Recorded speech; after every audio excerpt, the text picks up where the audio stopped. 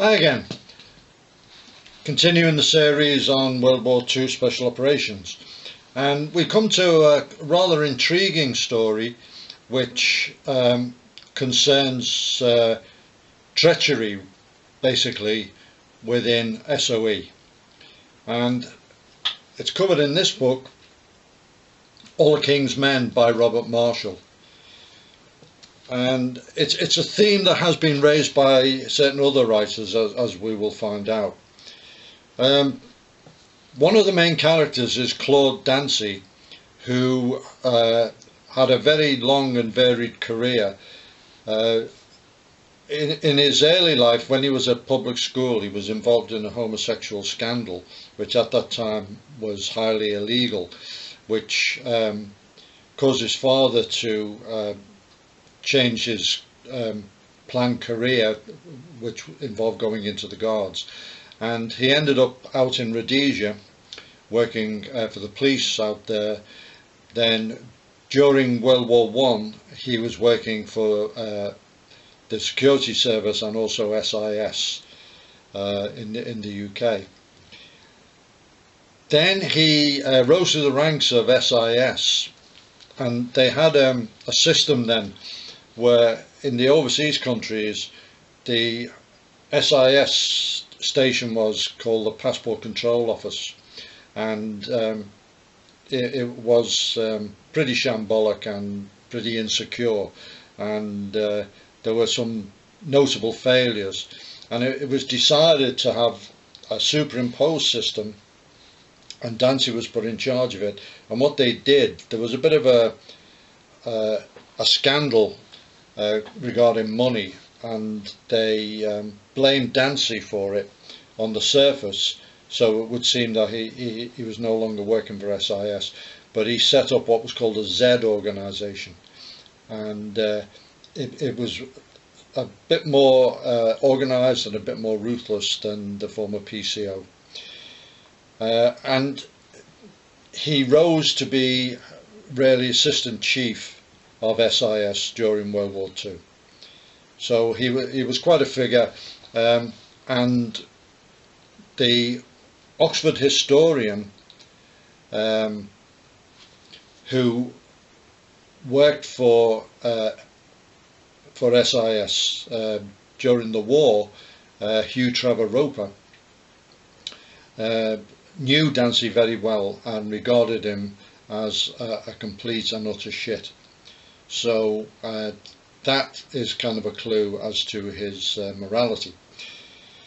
There's three other characters. Um, Henri Dericourt, who was a pilot, Nick Bodington, who was a journalist working for Reuters, and Karl Boemelburg, who was uh, an officer with the Abwehr, German military intelligence, all in Paris uh, in the years before World War II and they all used to meet regularly um, and this relationship is central to the whole story because both Dericourt and Bodington ended up in SOE.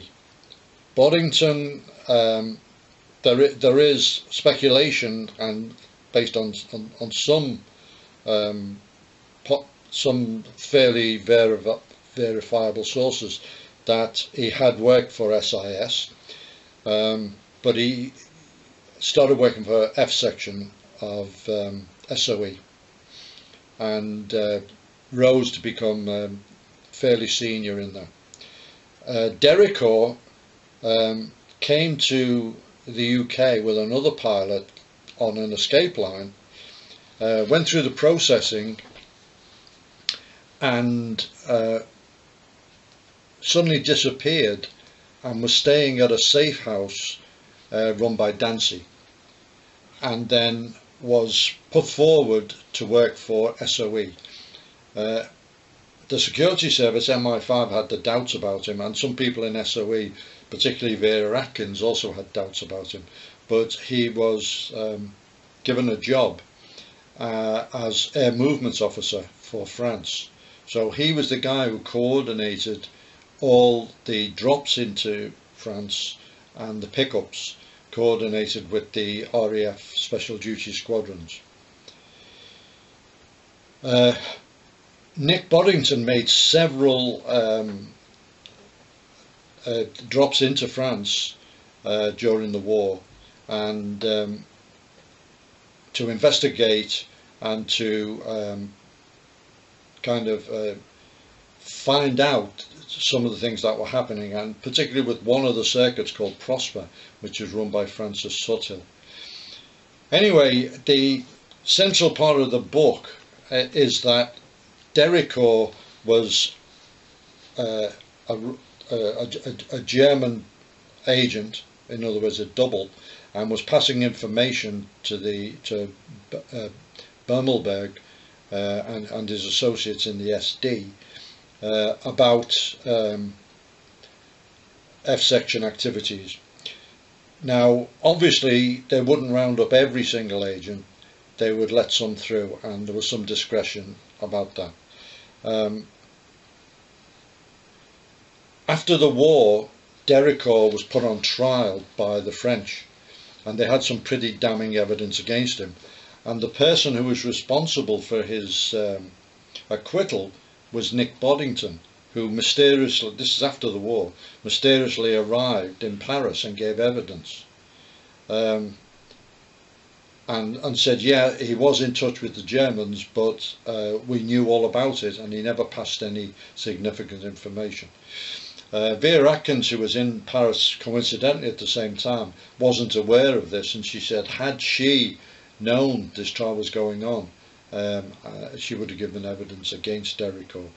So there you have it. Um, obviously, I've, I've, just done a very, very brief outline of, of the book. Massive detail in there, and uh, you know you you can make up your own mind. Um, in my opinion, it's pretty damning. Dericourt was a double. Uh, therefore, Bodington was involved somehow, and the only real reason why he would be working for De for the interests of Dericourt and against the interests of SOE is if he was working for someone else and the supposition is that he was working for for Dansey in SIS and Dansey had his own agenda hated SOE quite openly and um, that is, is possibly the, the reason behind it all. Um, several other authors have written about this, including a, a, fictional story by Larry Collins called Fall from Grace. And there's been at least two movies with this as the theme.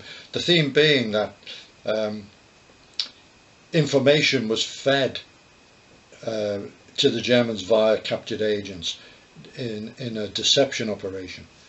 Uh, now, other expert historians have said that SOE was not used for deception purposes. But if they didn't know they were being used for deception, if they were deceived themselves as an organisation, um, then who knows. Uh, the whole thing is um, interesting. Uh, it's up to the individual to make up their own mind. But I rather think that um, there's certainly questions to be asked about Dansey. There's another book on this subject which goes into tremendous detail uh, that we will be um, reviewing. Uh, but for now, it's uh, a real book to keep you guessing.